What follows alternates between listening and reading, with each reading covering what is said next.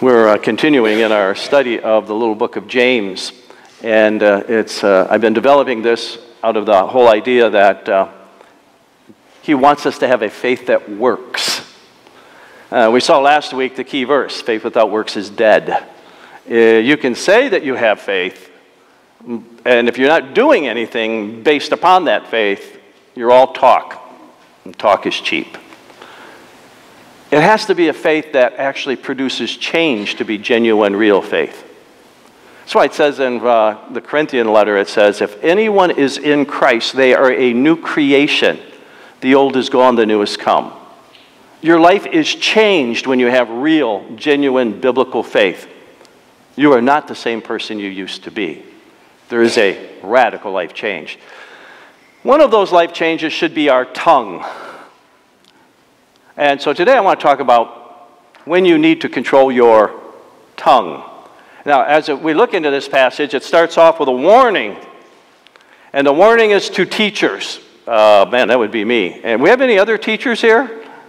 Oh, yeah, we got teachers here. Warning, teachers. Uh, and it may be, every mom should have raised her hand. My mom taught me to tie my shoes, right? I didn't learn that in school. I mean, there's so much I learned from my mom. Eh, dad should have raised their hand. Why? Yeah, I learned how to use all my woodworking tools and things like that from my dad. We're, we're teachers. He's really talking about Christian teachers here, though, in the text. I have to be honest, but there's application everywhere. Not many of you should presume to be teachers. You shouldn't take it upon yourself to be a teacher, my brothers. He's really talking to a Christian family. Because you know that we who teach will be judged more strictly. There's a reason for that. If I know my subject well enough that I can communicate it effectively for someone else to learn it, then I must really know it. So if I really know it, then I should do it. And if I don't do it, I've condemned myself because I know what I should have done. Later, he's going to say, To him who knows to do good and does not do it, to him it is sin. Wow. When I know what I should be doing and I don't do it, to me it is sin. It's called a sin of omission. It's not that I committed a crime, I omitted to do what I should have done. And so it's a sin of omission. He's saying, warning teachers, you will be judged more strictly because you know the subject well enough to teach it. Here's the principle talk is cheap. So do as I do, not as I say. The disciples not only heard Jesus, they saw Jesus. He modeled it for them the Christian life. He didn't just tell them, hey, this is what I want you to do, but don't do as I'm doing, just do as I'm saying. He modeled it. And see, that, that, that's the role of a pastor. He's to be the model for the congregation. That's the role of a Sunday school teacher, to be the model for the student. That's the role of a youth group leader, be the model of the young person. That, that's the role, no matter what you're in, the Bible study facilitator, you're to be the, the model you don't just talk it, you do it, you live it. It's your life. Soon as he said that, I, I like the way he follows that up. We all stumble in many ways. this is really a, a nice way of putting this, you know? It's almost like I really don't want to offend my audience, but what he's saying is, hey, buddy, you've blown it. You're a teacher and you've blown it. You've taught something you didn't do, right? Haven't we as parents? Hey, we told our kids, do it, and then they said, What? You don't, you don't do this. He said, We've all stumbled in many ways. We, we've all messed up. If anyone is never at fault in what he says, ah, with that tongue, it's talking about our talk. He is a perfect man. Any perfect people here? Didn't think so. So you all admitted to being people who stumble people who can't control their tongue. Because he says, listen, if, if he can if he's never at fault in what he says, he's a perfect man and able to keep his whole body in check, control everything. There are three sets of metaphors in our passage. A lot of people like this passage because it's very picturesque. he's going to give us three sets of metaphors, or six metaphors, and uh, they're grouped in couplets of two each in this passage, and they're all about tongue control. Don't you wish there were a stop button on the tongue? Maybe not on your own, but the other person, you could just reach over and stop it. You know what I wish I had was a rewind button. You ever had, you ever say, oh, I really wish I could take that one back? In fact, maybe I should back up a few paragraphs. You know? We don't have that. But, but he's going to give us three metaphors about controlling the tongue, and they're very revealing. Now, the first one is the domineering tongue, a domineering tongue. And I switch from the New International Version to the New Living Translation to the, se- the second verse here, because I just like the way it reads. It says, Indeed, we all make mistakes. We all make mistakes. Paul is a little more direct when he talks about it. He says, We're all sinners. I mean, it's just brutally honest. We all make mistakes. If we could control our tongues, we would be perfect and could also control ourselves in every other way. I like that. The Greek text really says you'll be able to control your body. Your body. If you can control your tongue, you'll control your whole body. Your whole body. Every other way, all of life, if you could just get control of your tongue. The point is, little things often control bigger things. A little tongue can control my whole body, my whole body and everything I do in life. My tongue, if I can just get control of my tongue. Little things. And somebody says this here, listen, he says, I got a metaphor for you. When we put bits into the mouths of horses to make them obey us, we can turn the whole animal. Now, I'm a city slicker, I admit it. I didn't grow up on the farm. Anybody here grow up on the farm? Anybody here have horses? Yeah, all that stuff. I didn't. So we would go down and visit my cousins in Missouri, and they had horses, and they had a farm, and, and so late in August we visit one year. My cousins' school started late in August, so they went to school, but they told us we could ride the horses anyway. So my cousin Kermit and I, we decide we'll go get the horses out of the barn, and we're going to ride the horses. And I don't know what I'm doing, and I, I found out later he didn't know what he was doing either. We got the bridle on, you know, the bit and all that. It was the saddle that was the problem. We finally get the saddle on, tighten it up, but there's a trick to tightening up the saddle that city slickers don't know. The horse fills its lungs full of air. So when you tighten that up, and then so, as soon as you get on it, they relax. That thing's not tight around the, around the center of their bodies. I'm on this horse that my cousin has tightened up. Never giving it the little nudge to get the air out of it. Now that he's running, man, he's got all the air out. And all of a sudden we're turning, and as we're turning, my saddle is sliding off the side of the horse. I fall on the ground. Finally, I chase and I catch that horse and, and, and, and, take it back. My cousin is laughing at me. And he's laughing at me, and his horse decides it's going back to the barn. And so he goes running back to the barn, and he's not authoritative in the control on the reins. And so that horse is going, and he's doing whatever he can to stop, but he's too passive in trying to lead the horse with the bit in its mouth. And the horse goes right into the barn. Well, with him on the horse, the horse has got his head down, but he doesn't. And he's hitting every beam that as he goes by, and it knocked him completely off the horse. Here's a couple city slickers don't know a thing about horses, right? This passage is written to people who know about horses. Saying you put the bit in their mouth and you take control, you can guide the whole body of that big animal. And if you can get control of your tongue, you can get control of your whole life. Isn't that amazing? This is the word of the Lord. The second metaphor he has is a big, he says, you, you take a ship as an example. Although they are so large and they're driven by strong winds, this is a sail, sailboat ship. They are steered by a very small rudder at the back of the boat, wherever the pilot wants it to go. We were on a cruise. Uh, we were uh, actually doing whale watching up off of the St. Lawrence Seaway on this cruise and uh, beluga whale watching. And, uh, but we were on this huge, massive cruise ship.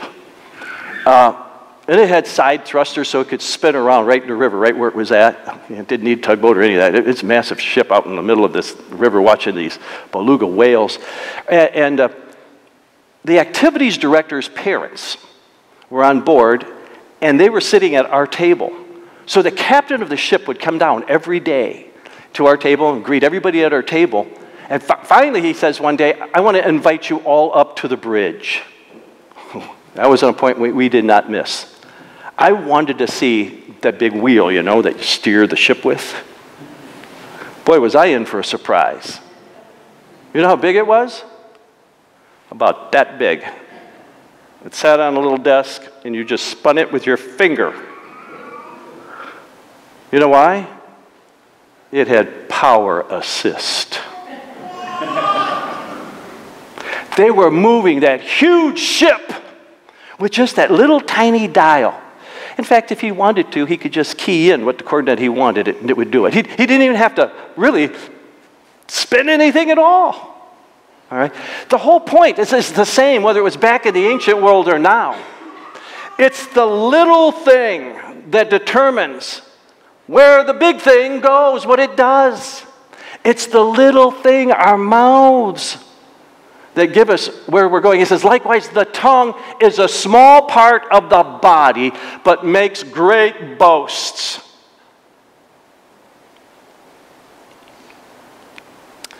You see, both of them have power. The small things, the rudder and the bit, both have the power to direct something huge. Both of them can overcome contrary forces. Uh, the winds, they can go, they, they, can, you can sail right into the winds with that rudder going back and forth. You, you can sail against the wind. You, the mouth can do great things, is what he's saying. But you need a strong hand to control it. If you don't have a strong hand, an authoritative hand with the horse, he'll do what he wants. if you don't set the rudder in the right direction, it's not going to go where you want. It'll go wherever the, the water wants to take you. So the key is you need Jesus. You need Jesus to take control of your tongue so that he is in control in order to change your whole life. You need Jesus in your life. Jesus said, For out of the overflow of the heart, the mouth speaks. if you have Jesus in your heart, Ephesians chapter 4 says, He dwells in my heart by faith. If I have Jesus in my heart, out of my heart then controls my tongue, my tongue then controls my body, everything changes when Jesus is in control. Everything changes. My whole life changes. My whole world outlook changes. Everything changes when Jesus is in control. Isn't that marvelous? I think it's wonderful. The second thing that he does, he's got another couple of metaphors. he talks about the destructive tongue. He says, consider like a spark. Consider what a great forest fire is set on fire by a small spark. I can remember from a child, Smokey the Bear, only you can prevent forest fires. Only, it only takes a spark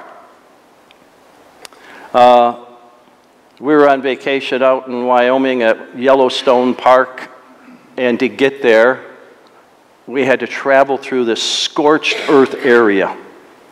It was all black, smoldering, because a forest fire had come. And the new policy is because it wasn't man made, it was from a lightning strike, you let it go. It's part of nature's way of recycling everything. And, and, it was like for miles, it was just black scorch. It was a huge part of the park was just all burned because of one little spark. He goes on from here and he says, The tongue is a fire. The tongue is a fire. It only takes a little spark. And what does it do? He goes on, he says, It's a world of evil among the body parts. It corrupts the whole person Fire burns. I'll tell you what, burns hurt. Anybody know that? It burns hurt. The tongue is a fire. it hurts. It hurts. So much so that during World War II, they had posters, something like this. Now, I wasn't around back then. I mean, I wasn't. The war was over before I was born. But I do know that they had this line that went on like this it says, Loose lips sinks ships. Loose lips. Somebody speaking somewhere about where their son was in the military or they're crossing the Atlantic. Enemy spies here in America finding out positioning themselves in strategic places to find that information, relay it back. U 2 subs, we're taking out our ships crossing the Atlantic. Loose lips sinks ships. You get burned. You sink a ship when you're not careful with your tongue. Now, in the political world, the elephant in the room is Loose lips is going to be the blame for one or the other not being elected as president. Come on, we got one, one party guy that 11 years ago, I don't care, what do they call it? Locker room banter. They give it a, loose lips,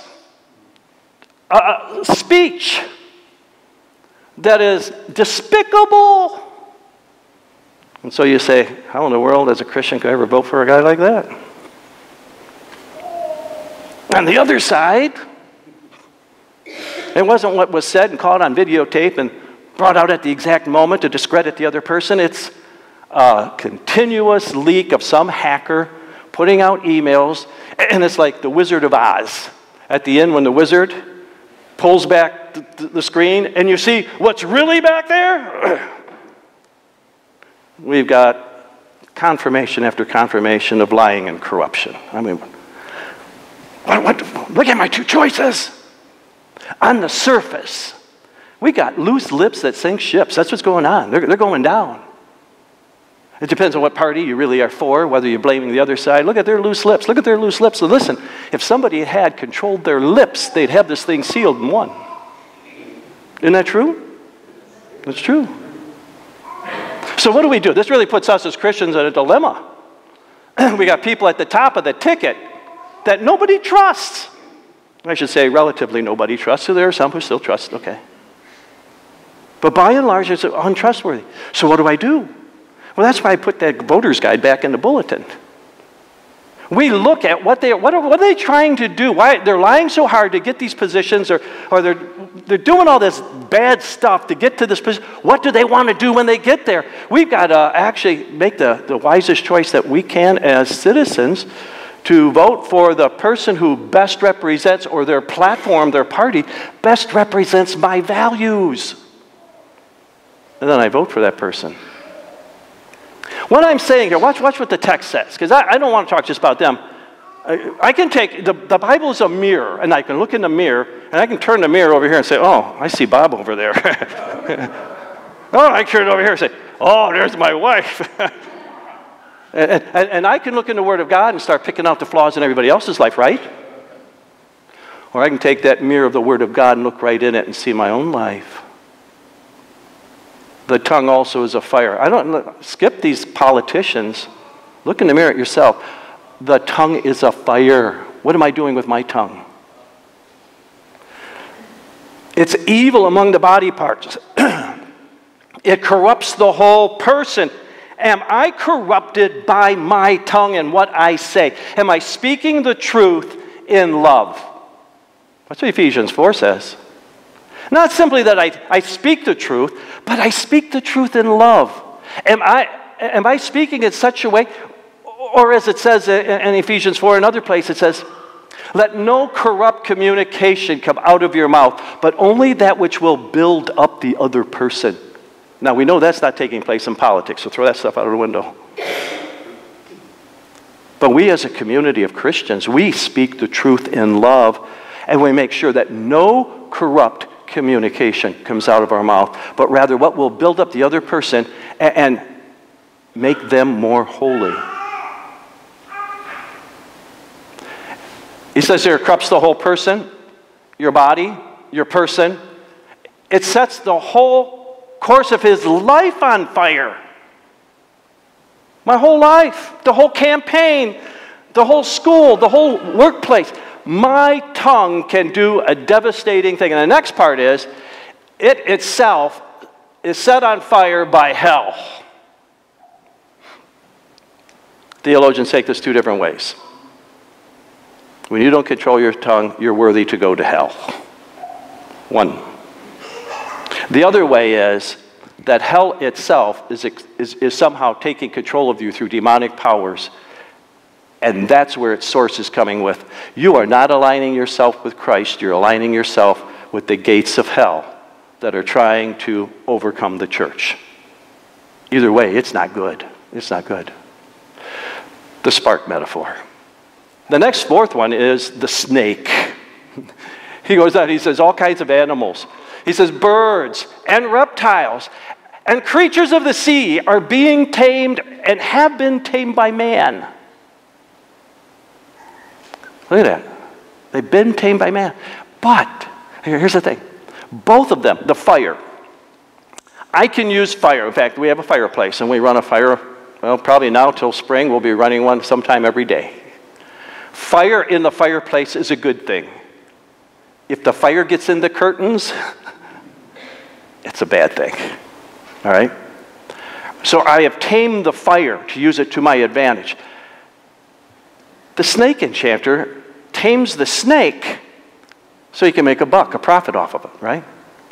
The whole thing is they've both been tamed. But listen what the Bible says but no man can tame the tongue.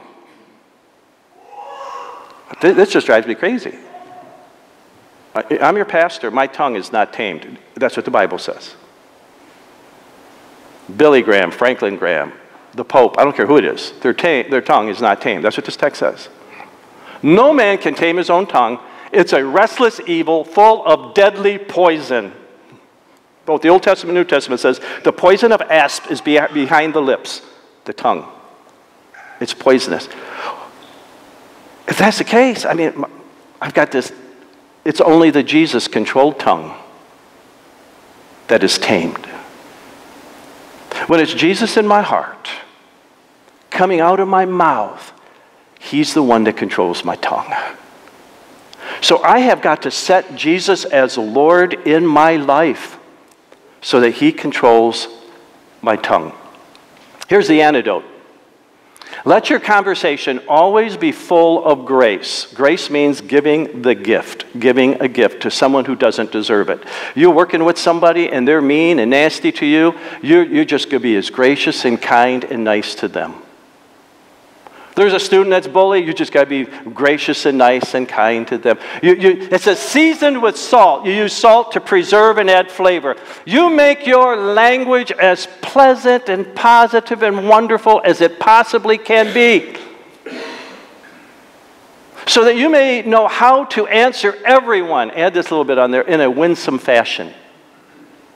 You never win anybody over just from argumenting. Just an argument, you got great arguments, and You've got to win their heart before you win their mind. And once you win their heart, they'll allow you into their mind. And so he's saying here, you've got to season your speech with the salt of God's grace uh, so that you win people as a friend before you try to win them to your position. Listen, the last one here is the, dis- the dis- disrespectful tongue. And the metaphor here is of water. Can both fresh water, life giving water, and salt water, you can't drink salt water. You, you, know, you drink salt water and your days are numbered, okay? He said, fresh water, I got salt water here, I got a tsunami. the life giving and the life killing, that's, that's the whole picture. Can they both come out of the same spring? The answer is no. You can't have fresh water and salt water coming out of the same one because the salt water will pollute the fresh water. That's just the way it is. If you put fresh water into the salt water, you'll dilute it, but it'll still be salt water. You, you can't, they can't, can't do it. And he says, My brothers, listen, can a fig tree bear olives? No. Or a grape bear figs? No. Fig trees give figs, vines give grapes. Uh, uh, uh, it doesn't, doesn't work that way. Then he says, Neither can a salt spring produce fresh water. When the tongue, he says, so here's the point he wants to make. With the tongue, we praise the Lord. We came in, we sang these wonderful songs today. Weren't they, weren't they great? Wasn't that a great time of singing?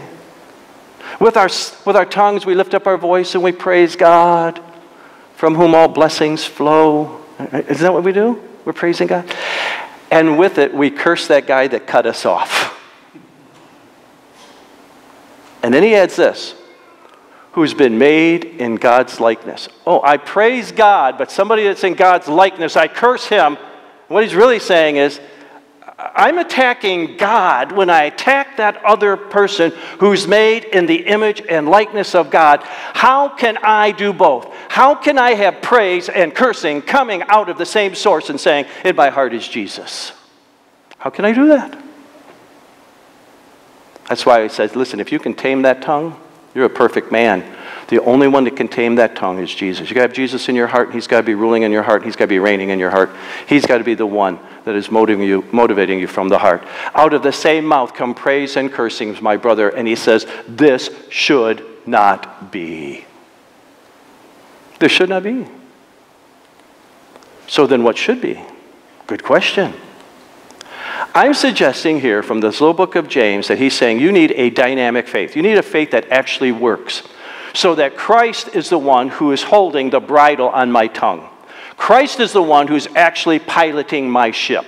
Christ is the one who's actually blazing with a renewal fire within my heart. He's renewing me day by day that Christ is the one who's taming my tongue. It is Christ who's the one who's purifying my water. He is the one who prunes the vines so that I bear forth much fruit. Our speech will be seasoned with salt when Christ is control of my life. When he's in my heart, he's reigning and controlling. Only then, only then, when that's happening, will we control our tongues and also control ourselves in every other way, as it says in James 3 2. Only then when Christ is in control. I want to leave you with 12 words that bring blessings. You all know these. Please. Thank you. I notice I never get criticized for saying please, and nobody ever criticizes me for saying thank you. It's kind of universal. Please, thank you. How about I'm sorry? I get criticized for that sometimes. And when I say I'm sorry, and person says, Oh, no, you're not. You're just saying that. So I've got to say it convincingly, right? Genuinely, from the heart. I'm sorry. I'm sorry. I love you. I love you. That's another one that's got to come across that you are convincing the person from your heart. It's got to be real, genuine, transparent. It's hard to argue with somebody who loves you, who's saying they love you. Very hard. One more I'm praying for you. I'm praying for you. Again, it's got to be said in the right way. It could be, well, you're all messed up. I'm going to pray for you. That's not going to work. It's not going to work. But when you say, you know, my heart really feels for you, can we pause for a moment and pray? I'll tell you what, that might be too intimidating. I'm going to be praying for you. How can they argue with that? These are words of blessings. There's more. But out of my mouth should not come cursings. Out of my mouth should come blessings. Do you agree? Amen. Let's pray. Father in heaven, we are asking that the Holy Spirit and the Spirit of Christ, the Lord Jesus Himself, who resides in our hearts, would take such control that when my tongue speaks, it speaks out of my heart from Jesus, so that blessings are on my lips and not cursing, that I manifest the faith of the true and living God. Others will see it and fear and trust in the Lord. Others will see it and ask for the reason of hope that I have, that I respond in such a way. Then I can just tell them I have Jesus in my heart. And you will be glorified. Lord, I know it takes a great faith, great faith, genuine, real faith, to control the tongue. Grant us such faith. In Jesus' name, amen. I just want to ask you this question. Perhaps God spoke to you today about your tongue. And you say, Pastor, I made a decision today that I'm going to enthrone the Lord in my heart to take control of my tongue. And you say, just pray that God will give me the strength to do that. Just lift up your hand. I'll see it. Yes, yes, yes, yes, yes, yes. Let's pray. Father in heaven, I ask that you would consecrate us and our lips, our tongues, that we might give messages of blessing for you that come from a heart where Jesus reigns and rules, that he is enthroned as king. May your spirit prod us so that we say those things that bring glory and honor to our Lord and Savior, Jesus Christ. Bless these who have raised their hand to say, Lord, change my tongue, change my life through Jesus Christ my Lord. It's in His name I pray. Amen. Amen. Have a wonderful Lord's Day. God bless you.